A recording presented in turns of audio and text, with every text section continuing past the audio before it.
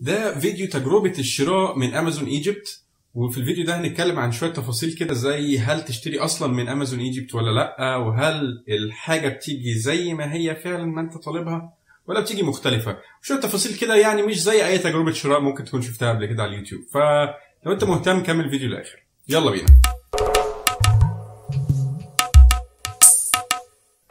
أهلا بيكم فيديو جديد من 5 minute practice. معكم خالد محي الدين. وأخيرا فيديو بالعرض. يعني حاجة كده بقالي كتير قوي ما عملتهاش. بقالي تقريبا سنة ما بعملش videos خالص. كل ال videos بتبقى shorts بس. ف I'm very excited. وأتمنى تكونوا أنتوا كمان مبسوطين. وتعالوا نبدأ بشوية تفاصيل كده في الفيديو دوت عن إن إحنا هنتكلم. هل أصلا الحاجات اللي أنت ممكن تشتريها من امازون بتجيلك زي ما هي ولا لأ؟ هل فعلا ال quality بتاعتها بتبقى كويسة ولا لأ؟ آه التوصيل بيبقى بيجي في قد إيه؟ والأسعار حاجات اللي زي كده. طيب. نبدأ كده بحاجة مهمة قوي وهي أكتر حاجة مستفزاني في موقع أمازون كله. إن الناس اللي عليه البياعين يعني السيلرز الموجودين على الموقع هم مش مش سيلرز من أمازون نفسها أو مش منتجات أمازون هي اللي حطاها ولكنهم محلات عادية زي المحلات اللي أنت بتشوفها في الشارع وتروح تشتري منها أي حاجة أنت عايز تشتريها. وبالتالي دي بتقابلنا هنا مشكلة بسيطة قوي ألا وهي إيه؟ إن أنت لما بتروح لأي محل عادي عايز تشتري منه أي حاجة وليكن أنت رايح تشتري وليكن cover للموبايل بتاعك. فبتشوف ال cover دوت تتفرج من نص حاجات فعجبك واحد معين فبتبدأ إن أنت تقول له بكام دوت بكذا طيب ماشي هات أشتري ال cover دوت. ولو مش هو دوت اللي انت عايزه بتطلع غيره وهكذا. الفكرة بقى إن البائعين على على امازون بيتعاملوا بنفس المنطق بالظبط. انت لما تروح تشتري حاجة من على امازون من الأكسسوارز تحديدا بتشوف مثلا cover موبايل شكله حلو عاجبك جدا خلاص اشتريت المفروض إن هو يجي لك زي ما هو. فكرة هو بيجي لك كفر فعلا بس ممكن ما يجيلكش نفس الكفر تقول لي عادي يعني ممكن تكون حصلت مرة. لا دي بتحصل كتير. إن الناس اللي على اللي على امازون بيبقوا متعودين إن أنت ممكن تروح لهم ولو ما عجبكش الكفر دوت تجيب غيره. لو مش هو اللي موجود هتلاقي غيره. عادي. فهم بيتعاملوا معاك بنفس المنطق. مش قادرين يستوعبوا إن أنت حاطط صورة لازم تجي لي زي ما هي. ليه بتجيب لي حاجة مختلفة؟ يعني أنت ليه افترضت إن لو ده ما عجبنيش ذوقك هو اللي هيعجبني.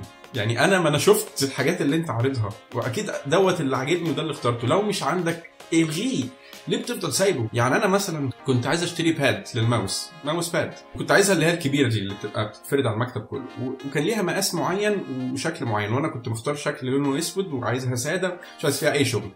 فبكل بساطة لقيت إن هي جات لي حاجة مختلفة تماما عن اللي أنا طلبتها. هي pad mouse pad آه. بس لقيتها أكبر بكتير من المقاس اللي أنا طلبته وكمان لقيت عليها صورة صورة غريبة جدا. يعني هي يعني هي صورة لحاجة شخصية في لعبة ومنظر يعني ريفيلنج جدا. يعني اللي هو أبويا لو دخل عليا وشاف الصورة دي عندي أصلا مش عارف هيقول إيه. حاططها على المكتب ليه؟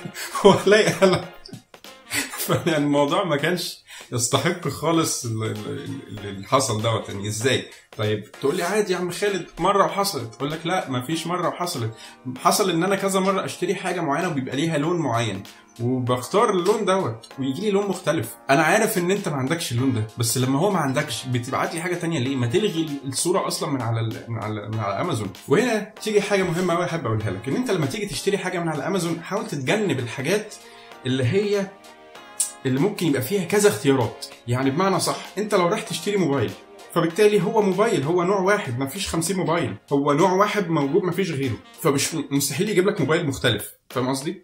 لكن الاكسسوارز الحاجات اللي هي قابلة إن يبقى في كذا نسخة منها وكذا طريقة لا حاول تتجنبها خالص لأن دي مش حاجة حلوة تماما. ما تروحش تشتري مثلا وليكن mouse pad ما تروحش تشتري keyboard. لو في مثلا وليكن عايز تشتري hand free تقول لي وماله يا عم خالد؟ ما هو ممكن يجي لي منتج وشكله حلو ويعجبني وكل حاجة إيه المشكلة يعني؟ أقول لك مفيش مشكلة بس ده يبقى حظ إنما ممكن بقى يجي لك منتج أنت مش عايزه في الحالة دي هتقول عادي جدا هرجعه. أقول لك مفيش مشكلة رجع لي المنتج يا باشا هترجع المنتج. هو المنتج مبدئيا يعني حاجة يعني تحتسب لهم إن هو بيجي في حوالي يومين. هتيجي تطلب إن هو يعني ترجعه يجي لك بعد يومين ياخد المنتج منه. أدي كده إيه؟ يومين كمان ضاعوا. يبقى كده أربع أيام. هنفترض بقى أنت عايز تاخد فلوسك تاني. الموضوع بقى بياخد وقت شوية. ليه؟ لأن أنت عشان الحاجة توصل تاني للبياع. وتاكد إن هي سليمة وإن أنت عندك حق فعلا إن أنت ترجع الحاجة بتاعته ديت؟ ويبدأ يرجع لك الفلوس. انت بتتكلم في أسبوع. يعني انت بتتكلم في ما لا يقل عن 10 12 يوم عشان فلوسك ترجع لك تاني. دي دي مشكلة في حد ذاتها. وانت بقى المشكلة الأكبر إن انت لو دافع كاش يعني انت مثلا لو شاري حاجة ب 100 جنيه فانت دافع كاش 100 جنيه بالشحن بكل حاجة. خلاص انت اديت الراجل في ايده 100 جنيه. وهيجي يرجعوا لك الحاجة هيرجعوا لك فعلا 100 جنيه. بس افرض إن انت جيت تشتري بقى نفس المنتج تاني وفعلا لا قدر الله لقيته أغلى. بتبقى هنا مشكلة لأن المنتج الفلوس بترجع لك على ال account بتاعك. يعني مش بترجع لك كاش بترجع لك ال account بتاعك بيرجع لك 100 جنيه. وللأسف أنت ما تقدرش تعمل حاجة بال 100 جنيه دولت غير إن أنت تشتري ب 100 أو بأقل. ما تقدرش تشتري بأكتر من 100 يعني أنت لازم تشتري ب 100 جنيه أو بأقل. لو المنتج طلع أغلى 5 جنيه مفيش إن أنت بقى تدفع 100 جنيه وتقوم مديله ال 5 جنيه لما يجي. لا لازم يكون الحاجة اللي أنت هتشتريها بفلوسك اللي على ال account تكون فعلا بنفس الثمن طب إيه حلها؟ حلها إن أنت في الحالة دي تحط الفيزا بتاعتك وتبدأ بقى تربط ال account بتاع ال account بتاع بتاع امازون بالفيزا وتحول الفلوس على الفيزا عشان تقدر تاخدها تاني زي ما كانت وتدفع بقى بالفيزا لو انت عايز بأيا كان بقى الفلوس اللي موجودة فيها. فالخلاصة إن المشكلة مش في امازون نفسها المشكلة في البائعين اللي على امازون إن هم بيتعاملوا معاك كأنك رايح المحل ولو ما عجبكش هيديك حاجة تانية وخلاص ويقول لك طب خد دي وبلاش دي. طيب هل ال quality بتاعت الحاجة بتبقى فعلا زي الصورة؟ في الحقيقة بعض الأوقات آه وبعض الأوقات لأ. كنت طالب حاجة أونلاين قبل كده وهي كانت ال material بتاعتها بلاستيك. وأنا عارف إن هي بلاستيك. بس كانت باينة في الصورة إن هي بلاستيك كده metallic وبيلمع.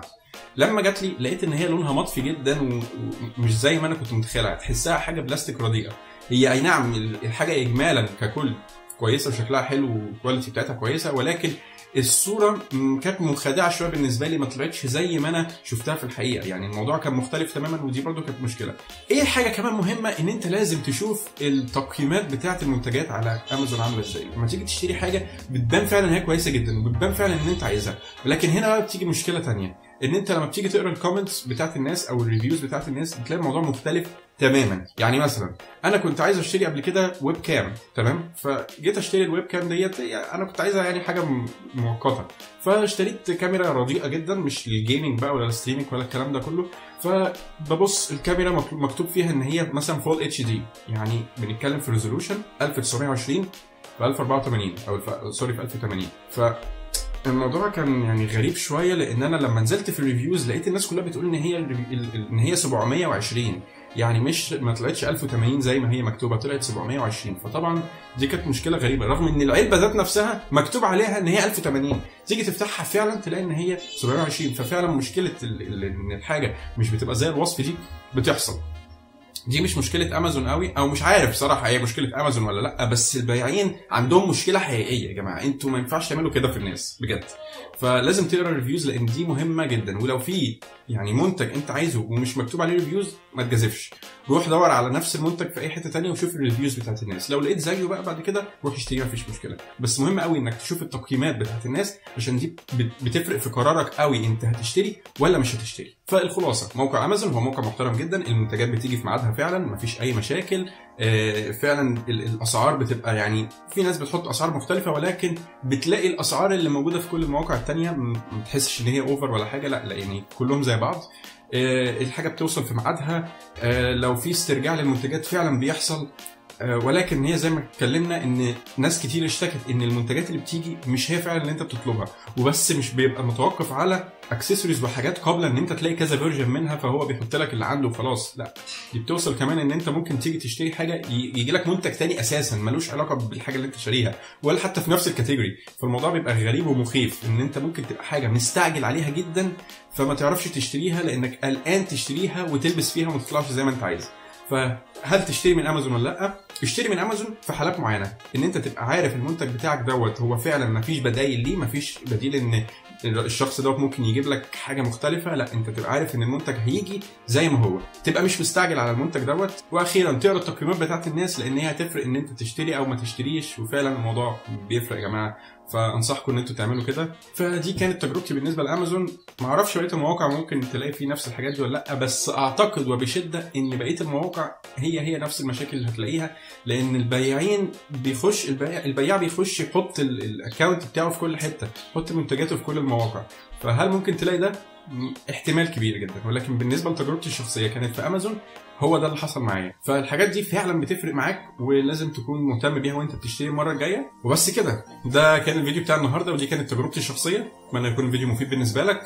وأتمنى يعني أنا مبسوط. أنا مبسوط فاينلي أنا أول مرة أفتح دراعي كده في الفيديو. بدري قوي فالموضوع بصراحة ظريف جدا. فبس كده. ده كان الفيديو بتاع النهارده. أشكركم على الفيديو. ومتنساش تعمل like subscribe share عشان أكبر عدد من الناس يستفيد. وسلام.